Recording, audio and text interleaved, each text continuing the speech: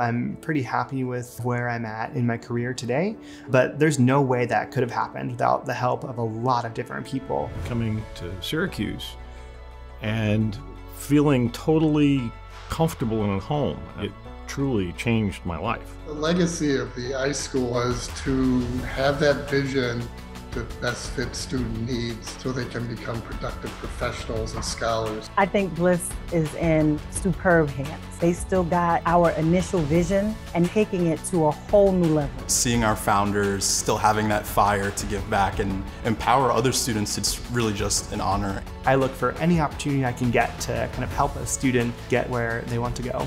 Syracuse has given me some tools in my toolkit. They've given me experiences that Uh, will enrich me for the rest of my life.